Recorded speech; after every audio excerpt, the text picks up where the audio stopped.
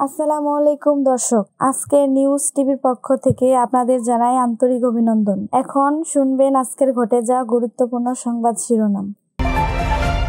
আওয়ামী লীগের সভাপতি শেখ হাসিনা, আবার সাধারণ সম্পাদক ওবায়দুল কাদের।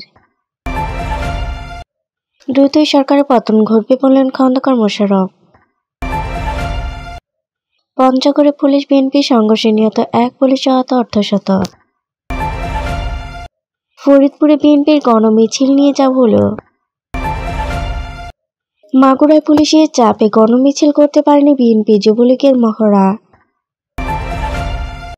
মুন্সীগঞ্জে পুলিশের বাধায় বিএনপির গণমিছিল পণ্ডু পথসভাও বাধা। এতক্ষণ শুনছিলেন সংবাদ শিরোনাম। এবার বিস্তারিত। দশমবারের মতো আওয়ামী লীগের সভাপতি নির্বাচিত হয়েছেন প্রধানমন্ত্রী শেখ হাসিনা। নতুন কমিটিতে শেখ হাসিনা সংগীত দলের সাধারণ সম্পাদকের দায়িত্ব পালন করবেন ওবায়দুল কাদের। তিনিও টানা তৃতীয় মেয়াদে এই দায়িত্বে থাকছেন। শনিবার আওয়ামী লীগের বাইশতম জাতীয় সম্মেলনে সভাপতি ও সাধারণ সম্পাদক পদে এই দুজনের নাম ঘোষণা করে নির্বাচন কমিশন। সকাল সাড়ে দশটার দিকে সৌরাতে উদ্যানে আওয়ামী লীগের জাতীয় সম্মেলন উদ্বোধন হয়।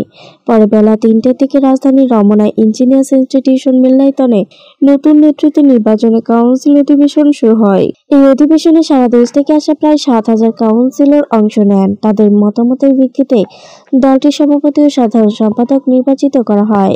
আওয়ামী লীগের নতুন নেতৃত্ব নির্বাচন করতে দলটির উপদেষ্টা পরিষদের সদস্য ইউসুফ হোসেন হুমায়ুনকে চেয়ারম্যান করে তিন সদস্যের নির্বাচন কমিশন গঠন করা হয়। কমিশনের অপর দুই সদস্য ছিলেন প্রধানমন্ত্রীর উপদেষ্টা মশির রহমান এবং উপদেষ্টা পরিষদের সদস্য শাহাবুদ্দিন চপ্পু এই সম্মেলনের মধ্য দিয়ে গঠনতন্ত্র অনুযায়ী আওয়ামী লীগের আগের কমিটি বিলুপ্ত হয়েছে।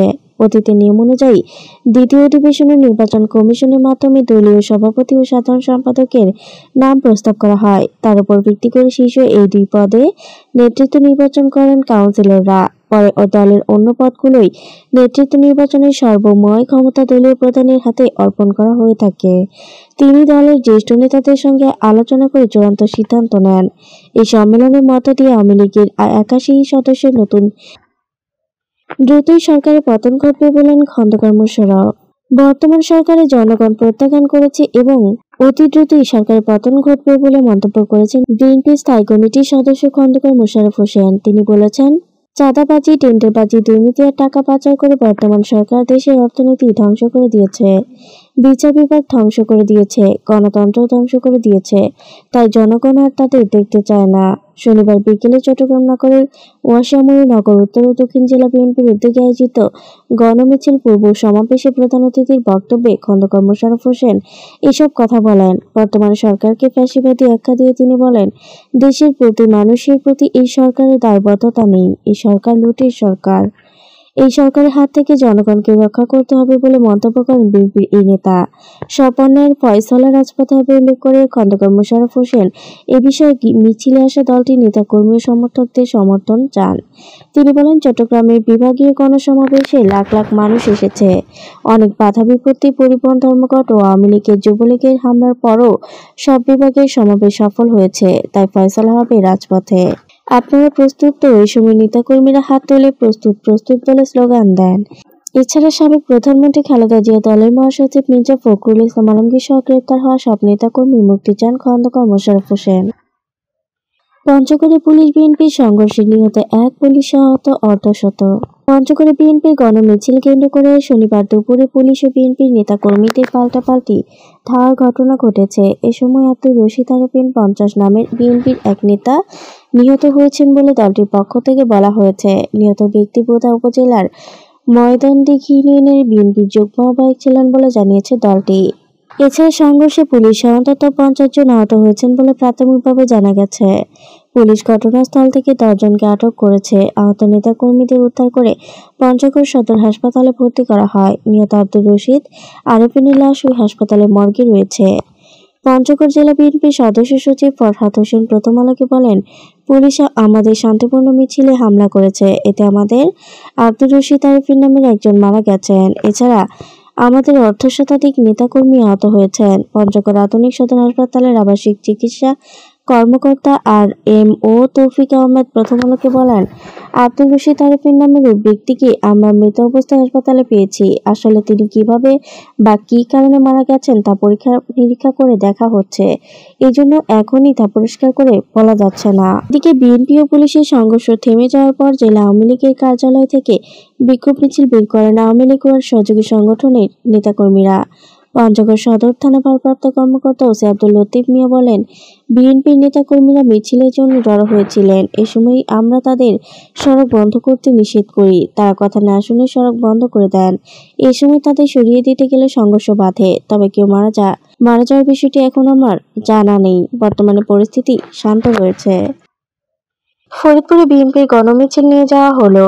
ফরিদপুরে পুলিশের কাছ থেকে অনুমতি নিয়ে শনিবার বেলা সাড়ে এগারোটার দিকে গণমিছিল বের করে বিএনপি।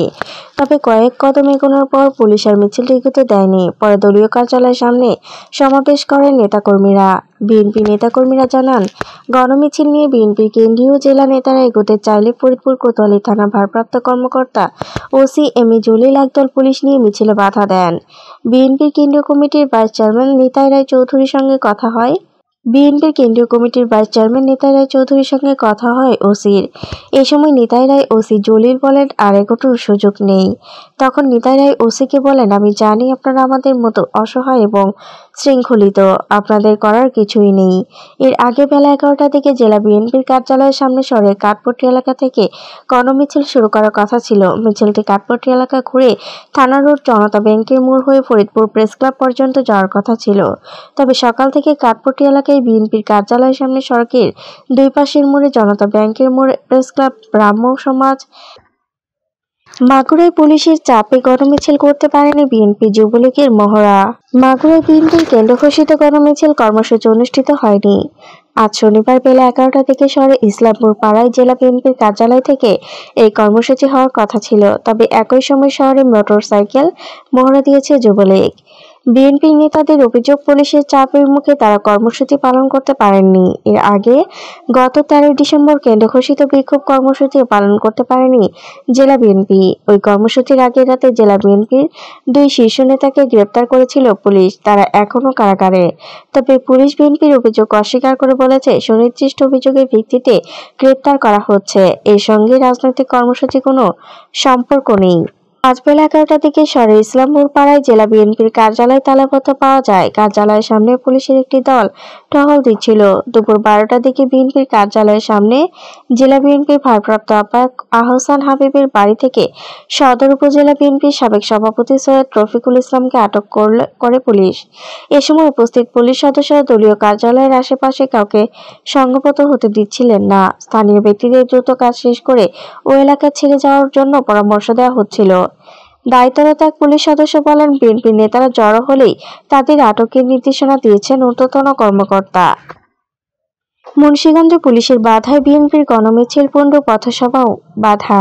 মুন্সিগঞ্জ সদর উপজেলা পুলিশের বাধায় বিএনপির গণমিছিল কর্মসূচির গণমিছিল কর্মসূচি পণ্ডু সাড়ে এগারোটার দিকে উপজেলার মুক্তারপুর এলাকার এই ঘটনা ঘটে। পরে পথসভা করার সময়ও পুলিশ বাধা দিয়েছে বলে জানিয়েছেন দলটির নেতাকর্মীরা। নেতাকর্মীরা জানান, বিএনপির চেয়ারপারসন বেগম খালেদা জিয়া দলটির মহাসচিব মির্জা ফখরুল ইসলাম আলমগীর সহ দলের নেতাকর্মীদের মুক্তির দাবিতে কেন্দ্রীয় কর্মসূচির অংশ হিসেবে মুন্সিগঞ্জের গণমিছিলের আয়োজন করা হয়। মিছিলটি মুক্তাপুর থেকে মুন্সিগঞ্জ শহরে জেলা কার্যালয়ে যাওয়ার কথা ছিল। বেলা সাড়ে এগারোটার দিকে পঞ্চসার ইউনিয়নের গোসাইবাগ এলাকা থেকে মিছিল বের করলে পুলিশ বাধা দেয়।